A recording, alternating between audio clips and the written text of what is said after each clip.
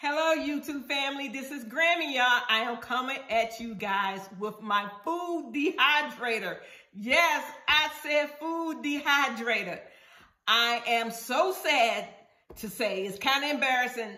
I think I've had this food hydrator, dehydrator for about three years. Yes, this is just a small one. It's by Meykey, M-E-Y-K-E-Y, or Mikey, however you pronounce it. Anyway, it's a dehydrator, you guys. So this is my first time, so I'm going to try my hand at this dehydrator, you guys. So what I did was I wanted to, let me take off this. What I did was I wanted to, sorry about that, try my hand at some pineapples.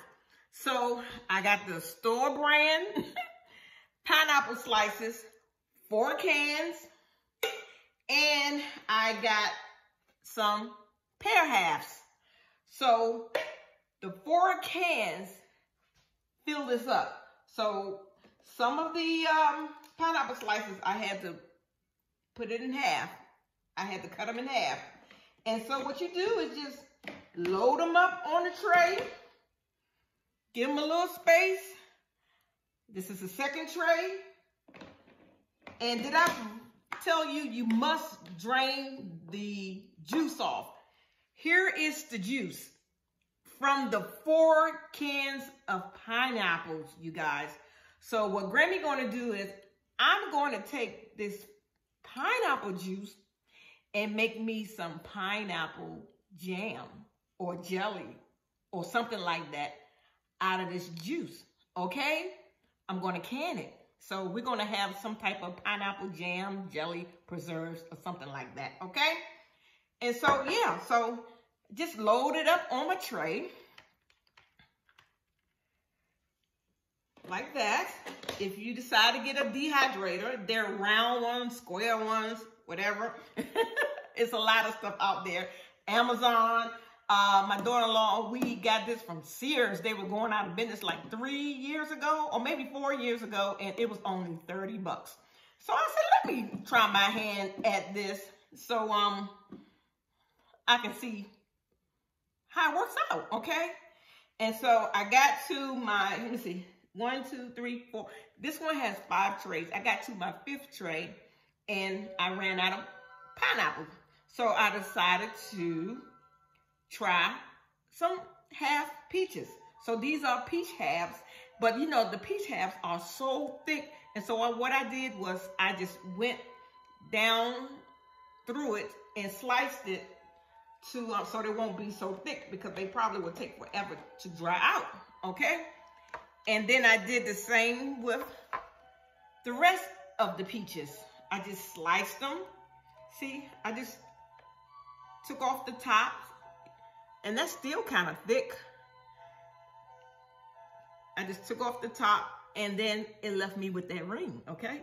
So, yes, so I didn't want to not have an empty tray, so that's why I decided to do some peaches as well. So, I have five trays of fruit on here, you guys. And I'm to put my top on. It is so simple according to the directions, and I've watched several people on YouTube. And um, I'm like, I can do this. Let me pull out my dehydrator. And so what I'm gonna have to do is just turn it on. And I'm going to set it for 140 degrees. And I'm going to set it for 14 hours. Yes. At 140 degrees, you guys.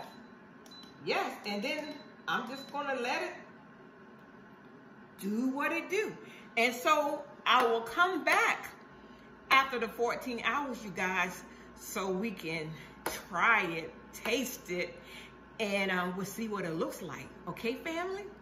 All right, I'll be right back at you. Okay, family, I am back after 14 hours. Um, I had to sleep while this was running. It wasn't loud, but just the fact of something was on all night long while I was sleeping. So, but anyway, um, 14 hours later, this is what we have, okay? Wow. Look at the peaches. This is perfect. I'm not really feeling these. That's still wet, you guys. So this probably need a little bit more time. Probably five hours, yeah. Probably was too thick. But this ring right here, oh wow, that's perfect. It kind of looked like the peach rings that the kids eat, you guys.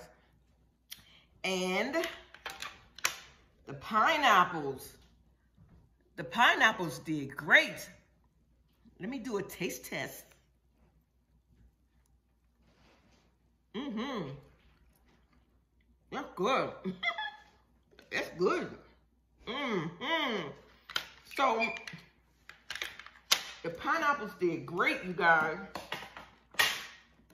And that peach, that's perfect right there. But I'm gonna have to put my, this tray back on. But these right here are good. But these right here, they're still too soft. Another like five hours. So if you're doing peaches, peaches need more time than pineapple. The pineapples are perfect. Mmm, it's good, y'all. The pineapples are good for 14 hours. Let me try the peach. Almost like a fruit roll-up. Shake care. Mmm. Yeah, that's good, y'all. Mm-hmm.